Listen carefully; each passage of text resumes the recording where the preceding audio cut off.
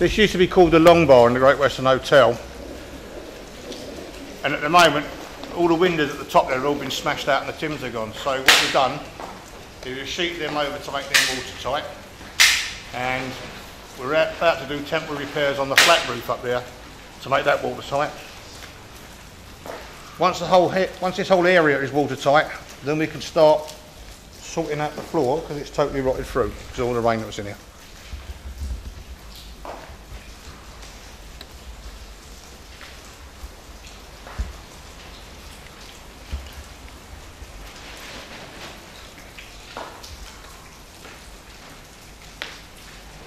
As you can imagine, when it rained out there, it rained in here as well. Now, some areas of the roof are very bad and will need a lot of work, even to make them temporary repaired. But before we could get on the main roof at the, up the top of the building, we had to shore the roof up. To do that, we had to shore up all the floors below it.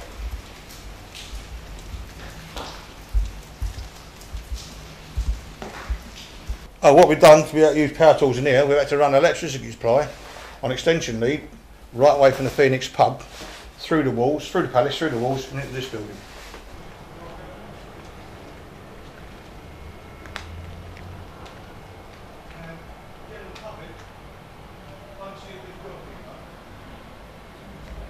As you can see, the joists are all rotten here. So before we can shore the next floor up, we've had to shore up from ground stairs to this level, and from this level to the next level, and we've had to continue that all the way up to shore up the roof, because the roof had actually collapsed. But we couldn't put any extra load on these beams, because these are rotted out. As you can see, where some of the windows risk falling out into the street, we've taken them out so we can use them as templates to make new windows, and then boarded the window areas up.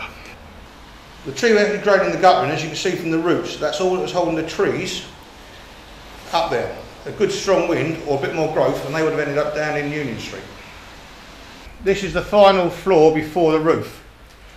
As you can see there's steel beams going through and the steel beams are still quite solid so what we've done is fixed the other beams up there once again to hold the floor up and to jack up the areas in between because the beams up here are absolutely rotten, the joists are gone. So we've had to take the thing right across the whole side of the building to keep that area safe before we jack the roof up. So as you'll notice, it's come up all the way from the top to the bottom.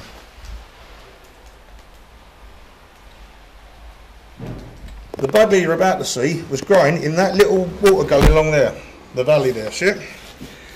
The only thing holding it up was that guttering. You see there? That's what we had to remove.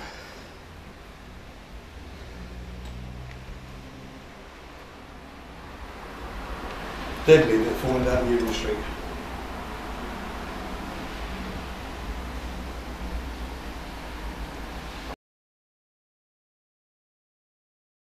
Once again, India. These joists are completely come away from the wall plates by hanging down at a 10 degree angle. So before we could get on the roof and attempt any repairs, these had to be supported. And that's why we had to bring the whole supports up from the ground floor just to keep it so we can jet this piece up into the air.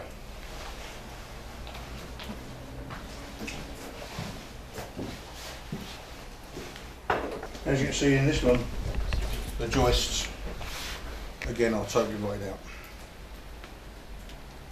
All because people nicked the flashings off the roof. The whole building and next door are completely full of rubbish.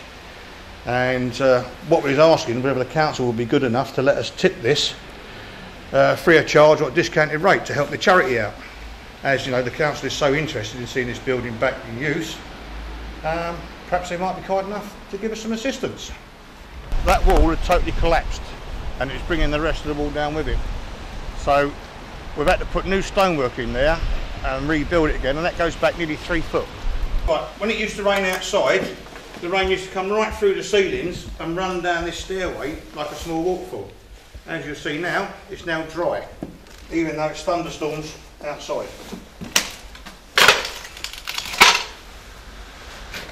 Below this floor, there's Another bar and dressing rooms and that for performers. But we can't get there because as you'll see, the water in the cellar comes up this far. So the fire brigade have kindly consented to come and pump it out for us. Just for um, effect, as it were. Throw something in here. Yes. Yeah, I've got a bit of it here. But you ready? Ready? Three, two, one.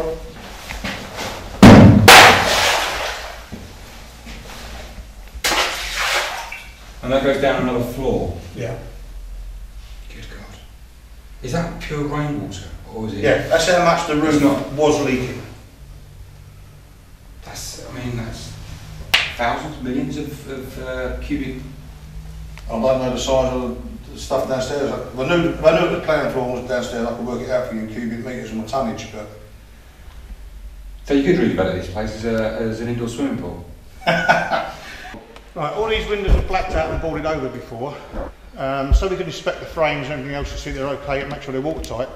We took all the boarding down, cleaned a lot of the black off, but that also gives us the benefit of some light in this room, because before you couldn't see anything in here. You'll notice from the rubble on the floor, once again, once it rained outside, it literally poured through the ceiling. But now, as you'll notice, it's all drying out. So it's no longer leaking. Therefore, no more damage. This is how it's growing on the roof. Right. There's all the stuff growing up on the roof here. The valley down there had all this lot growing out of it. And it now looks like this. That's because people have nicked all the lead flashings. That area there covers the back of the stage and that had all been taken off and gone. That's all been flat roofed again. Same with the other side and all the valleys have been dug out and temporary valleys been put in there so they don't leak down into the stage area anymore. Once again because somebody's nicked all the lead. Right, once you see now the valleys are all clear so the waters can run down and instead of going down through the building they go out through the drainage. All this area is overgrown with buddleia as you can see from the valleys here it had gone down behind the, the flashings and the water was running down straight into the building. That's all now been cleaned out and resealed.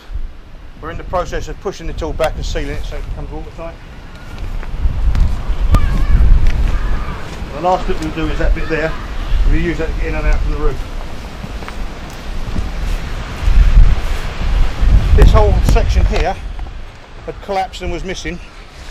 That's why we've had to shore this all up before we could get up here. I didn't want anybody disappearing through the roof. So that's all been shored up is now watertight. This is the roof there of the atrium of the Great Western Hotel, which we see from the inside just now. As you can see, this was totally overgrown with buddleia. It was gone down through the roof and all the glass was missing from the panels. So what we've done is we've sealed the panels up around the side with polystyrene and rendering and we're actually in the process of removing the buddleia so we can make the actual roof itself watertight.